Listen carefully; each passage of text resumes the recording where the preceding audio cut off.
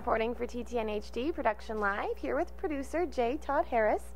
What inspired you to get into the film business? Well, first of all, before I tell you the answer to that question, I say it's nice to see you again.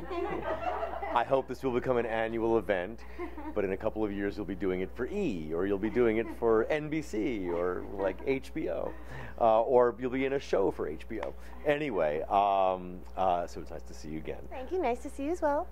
Um, what inspired me to get into the film business?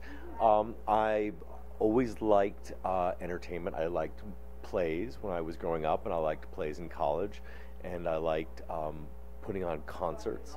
So um, when I was graduating college, and um, I got a job running a theater company, and I loved it, but I decided that um, I wanted a bigger audience, so I was driven to explore films and, um, and, and frankly, if I wanted a really big audience, I would probably be in reality TV. But um, but I still like the storytelling. I like the two-hour storytelling or the 90-minute storytelling method, and I I don't mind or I have an affinity for pulling lots of artistic endeavors together, hopefully into a greater whole. So, and that I realized I couldn't be an actor because I was going to be too short, too dark, too Jewish, too to Dustin Hoffman, not enough Robert Redford. You know, I was it was going to be a lot of problems. So, what are the favorite moments of your career so far? Um, marrying my wife. No. Sorry. my favorite, the favorite parts of my career uh, so far. I, I, really had a fun time when I met you last year and went to the Oscars right after that. That was really um, a really fun time.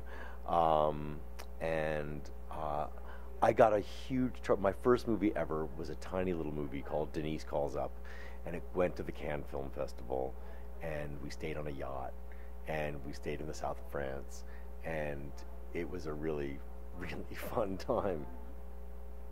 Um, so, dog, is my dog in the shot? Yeah. Okay. I feel like gold, gold finger. Um, what was that?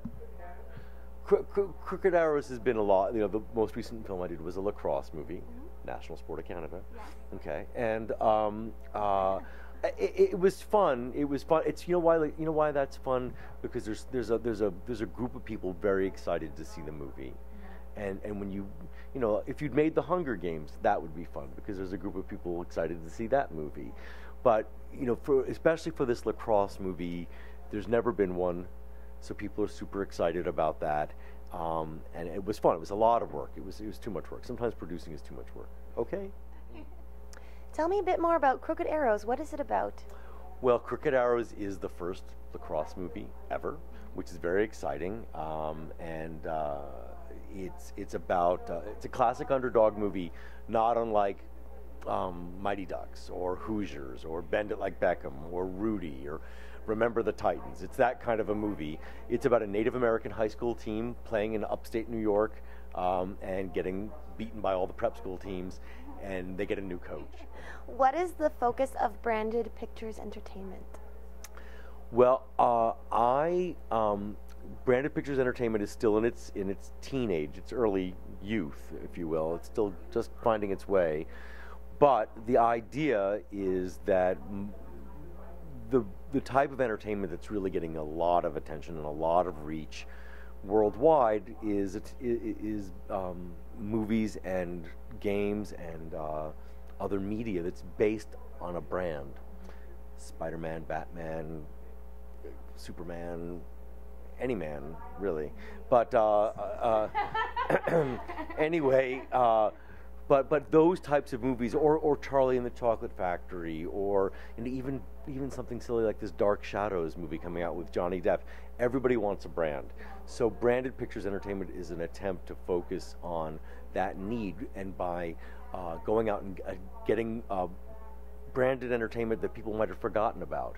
I see. I don't think there's a lot of people waiting to make a Dark Shadows movie, but suddenly Tim Burton and Johnny Depp thought it was a good idea, and now it's going to be new again.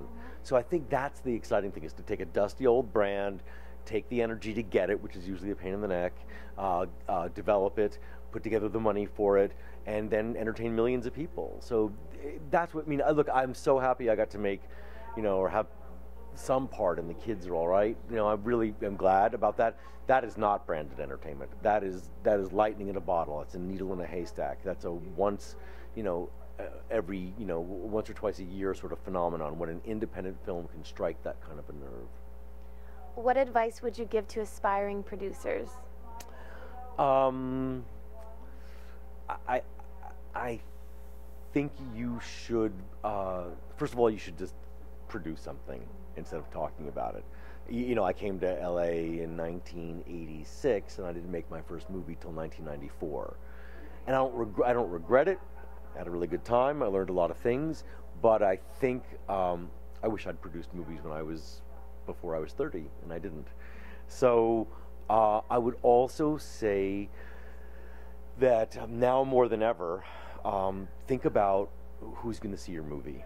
Because I made some movies, some movies, I, like maybe the first 32 movies I made, I was just, let's make a movie. And then finally, I, I said, you know, maybe we should think about who's going to see this movie. Because I got lucky a few times, but I didn't get lucky a few times. And now I, I want to be lucky more. So I think if you start thinking about who is going to see, who, what's the audience for your movie? Who's the natural audience? Who's the audience you can go and get? How are you going to get them? Put marketing money into your budget. Pl- you know, plan for marketing because a good idea without marketing um, often winds up on the side of the road. And where's the best place to check you out online? Well, um, like most people in the film business, you can find me in IMDb. Uh, but I do have a website. It's called Branded Pictures Entertainment, all laboriously spelled out. BrandedPicturesEntertainment.com. Um, and uh, usually I put up new articles every month there, and there's a little reel that I made, and, and it, you know, it's, it's just following along the projects that I've got in development. And right now, you can certainly see me uh, on Facebook, J. Todd Harris, and uh, anything Crooked Arrows. So. Okay. Well, thank you so much, J. Todd, and best of luck with your upcoming films. Thanks for coming. It's nice to see you. Thank you. Nice to see you too. I'm Katie Uhlmann reporting for TTNHD Production Live.